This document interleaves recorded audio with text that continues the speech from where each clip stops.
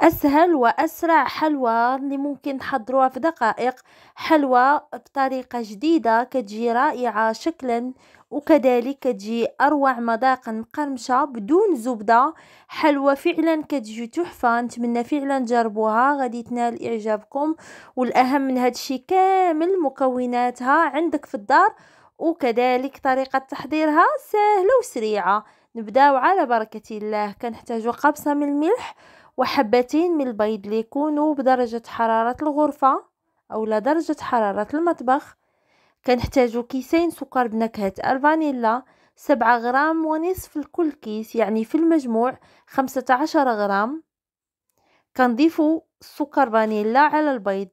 من بعد كنحتاجو السكر كأس من السكر الكأس القياس ديالو مئة وخمسون مليلتر وكيوزن لينا مئة وعشرون غرام في السكر.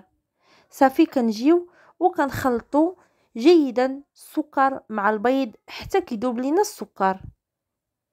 من بعد كنحتاجو سواء النشا اولا الكريم باتيسير ملي كنضيفو النشا ولا لا كريم باتيسير كتجينا الحلوى كأنها بالزبده كتجي فعلا رائعة وخطيرة.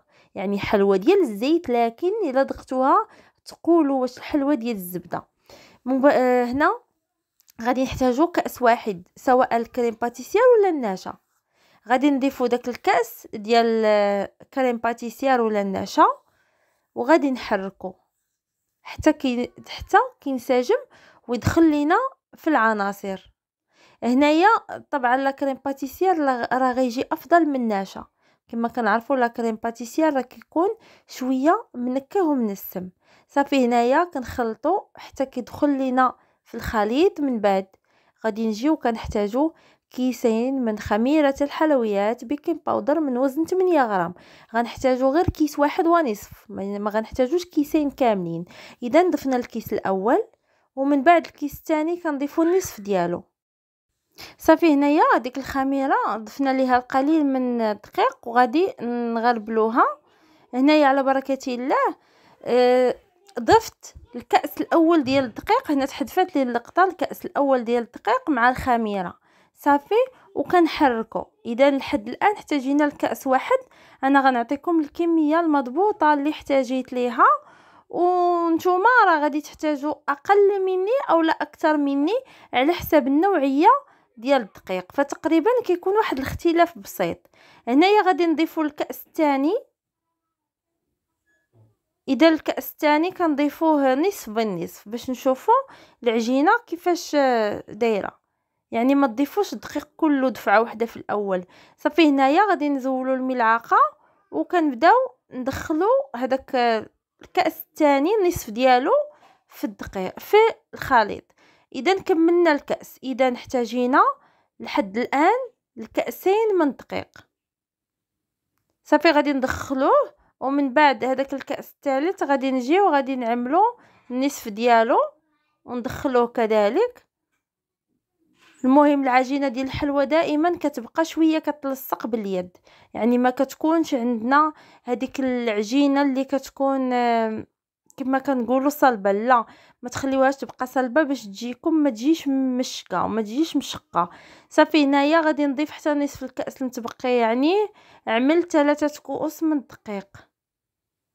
وأنتم كما سبق لي ذكرت راه على حساب النوعية ديال الدقيق اللي استعملته صافي من بعد ما دخلنا هذا الكأس صافي ها هو الخليط ديالنا جاهز ولا العجينه ديالنا هذا هو القوام ديالها المناسب.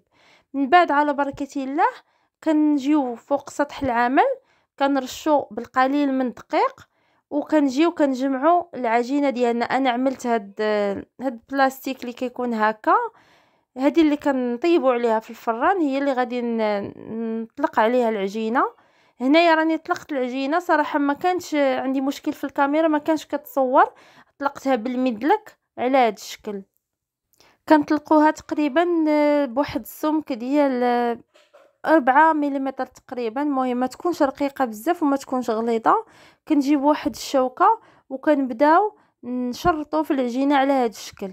هنايا كنعتذر لكم فبزاف ديال اللقطات تمسحوا ليا فما عرفتش المشكل فينا هو كنعتذر منكم صافي.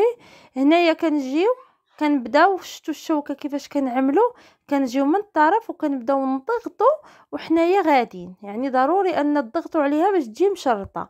من بعد كنجيبو أي إطار اولا أي طابع عندكم بغيتو ما تعملوش الطابع راه غتقطعوها غير بالسكين. بغيتو تعملوا طابع عملوه أنا هنايا اختاريت نعمل طابع. حتى بدون طابع راه كتجي رائعة. هنايا على بركة الله كنقطعو جيدا يعني كنحاولوا نضغطو على داك الطابع مزيان باش تقطع لينا العجينة. وهنايا ملي كنبسطوا العجينة ولا نطلقوها ضروري أننا كنرشوها بالدقيق لأن كتكون شوية كتلتصق. يعني نرشوها مزيان باش ما تلتصق ليناش مع سطح العمل. اذا العجينة المتبقية غادي نجمعوها وغادي نشكلوها مرة أخرى ونطلقوها كذلك ونعملوا ليها نفس المراحل. اذا هنايا بعد ما طلقنا العجينة غادي نجيو غنبداو نزولو من هاد هاد الورق. ممكن تعملوا تا ورق الطبخ وكنبداو نوضعوه في الصفيحة ديال الفرن ولا في اللاطة. هنايا هذا اللي كيدخل الفرن كيكون شوية كيلتصق فكنصحكم تعملوا ورق طبخ اولا بلاستيك غذائي أو يعني السلوفان. صافي بنفس الطريقة غادي نستمروا غنوضعوا كل الحلوى ديالنا وفي نفس الوقت راه عملنا الفرن يسخن على درجة اللي كتكون عالية واحد 220 درجة حتى كيسخن مزيان من بعد ما كيسخن صافي كنجيو وكنقصوا درجة الحرارة كنعملوها 150 درجة مئوية وندخلوا الحلوى ديالنا.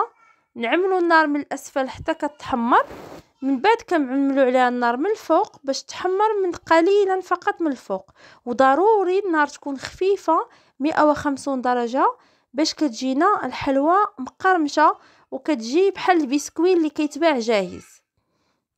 صافي هنايا هاني خرجتهم من الفرن هذه اللاطة الأولى وهذه الثانية. كنجيبوا الشوكولاتة اللي ذوبناها بشكل عادي على ماء. صافي وكنبداو نلصقوا في الحلوى ديالنا. كنعملوا الشوكولاتة وكنجيو كنغلقوها. يعني كنغلقوا وحدة مع وحدة. صافي ونفس الطريقة كنستمروا بها هذا إلا بغيتو تغلقوها. ما بغيتوش راه كتخليوها كما هي. حتى هكاك راه كتجي رائعة وكتجي فيها واحد القرمشة خطيرة. غير هكا بالشوكولاتة كتجينا بحال البسكوي صافي هنا غنستمر بنفس الطريقة حتى كنكمل كل كمية اللي متوفرة عندنا. ونتمنى يا أخواتي تجربوها راه كتجي لذيذة لذيذة لذيذة. صافي هنايا غادي نستمر حتى نكمل كلشي وطبعا غادي نشوفوا النتيجة النهائية اللي هي هذه كتجي رائعة روعة وسهله وبسيطة. وشي حاجة اللي تناولوها مع الشاي تناولوها تعملوها للعيد للضيوف كطير هاد الحلوى. يعني طير في بلاصتها فعلا كتجي روعة. غادي نقسم معكم باش تشوفوا معايا كيفاش كتجي. قرم قرمشة وفي نفس الوقت هشيشة. شوفوا القرمشة. مهم حلوى تحفة تحفة تحفة. جربوها على حسابي وما تبخلوش عليا بتعليقاتكم وكذلك انتقاداتكم. أستودعكم الله.